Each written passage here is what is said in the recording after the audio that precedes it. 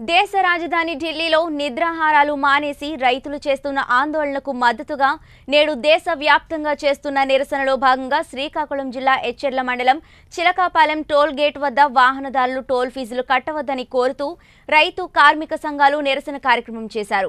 ఈ కార్యక్రమంలో అధిక సంఖ్యలో ప్రజా సంఘాల నాయకులు పాల్గొన్నారు. కేంద్ర ప్రభుత్వం చేస్తున్న రైతు వ్యతిరేక విధానాలను వెనక్కి తీసుకోవాలని డిమాండ్ చేస్తూ చిలకపాలెం టోల్ గేట్ వద్ద వాహనాలను టోల్ ఫీజు కట్టనివ్వకుండా రోడ్డుపై నిరసనలు చేస్తున్న వారి దగ్గర నుంచి మరింత సమాచారం మా ప్రతినిధి రాంబాబు అందిస్తారు. భాగంగా ఏవైతే రైతు సంఘాలకు వ్యతిరేకంగా వ్యతిరేకంగా తీసుకొస్తున్నటువంటి కేంద్ర ప్రభుత్వం ఈ చట్టాలను మూడు చట్టాలను రద్దు చేయాలని కోరుతూ నేడు శ్రీకాకుళం జిల్లా అలాగే ఈ దీనికి నిరసనగా తెలియజేస్తూ టోల్ ఫీజు చెల్లించకుండా ఉండే కార్యక్రమం చేపట్టారు?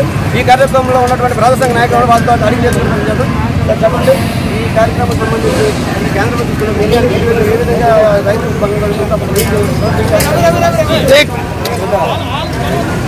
కేంద్ర ప్రభుత్వం తెచ్చిన మూడు వ్యవసాయ చట్టాలకు వ్యతిరేకంగా రైతులు పదమూడు రోజులుగా తీవ్రమైన ఆందోళన చేస్తున్నారు. అయినా ఈ ప్రభుత్వం దున్నపోతు మీద వర్షం పడినట్టు వ్యవహరిస్తుంది.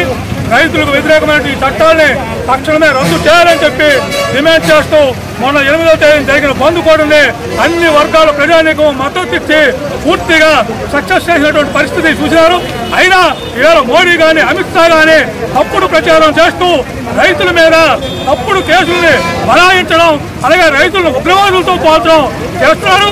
ఇవి తక్షణమే బీజేపీ ప్రభుత్వం ఉపసంహరించుకొని ఏవైతే ఈ మూడు చట్టాలు ఉన్నావో వాటిని రద్దు చేయాలని చెప్పేసి మేము డిమాండ్ చేస్తున్నాం.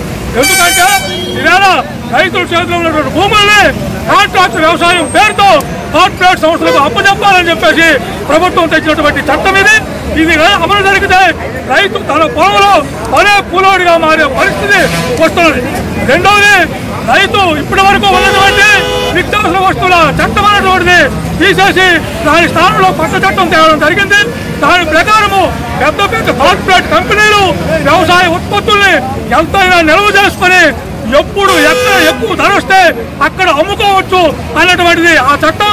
అది అమలు జరిగితే ఈవేళ రైతులతో పాటు వినియోగదారులు కూడా వ్యాపారులు సృష్టించిన కృత్రిమ కొరత వల్ల పెరిగిన ధరల వల్ల కొనుక్కొని తేలాక తీవ్రమైన ఇబ్బందులు పడతారు. దీనిపైన మన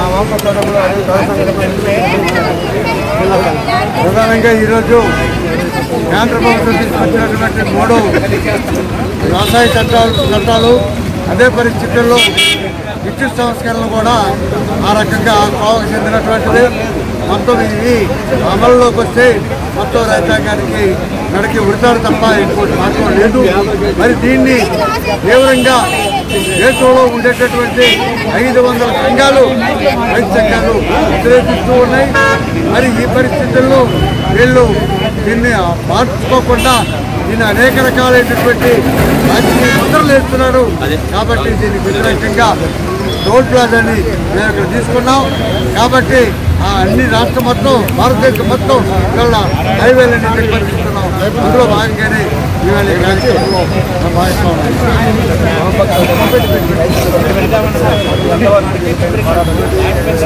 ఈరోజు ఢిల్లీలో గత రెండు వారాలుగా పనిచేస్తున్నటువంటి పోరాటం చేస్తుంటే లక్షలాది మంది రైతులకు మద్దతుగా ఈరోజు కార్మిక కర్షక మైత్రికి వెలిగించే విధంగా ఈరోజు కార్మిక సంఘాలు కూడా రైతులు చేస్తున్న పోరాటానికి మద్దతుగా ఈరోజు చిలకపాలలో టోల్ గేట్లు కట్టొద్దంటూ మొత్తం వాహనదారులు కూడాను టోల్ ఫీజులు చెల్లించకుండా నిరసన కార్యక్రమం చేపట్టడం జరిగింది.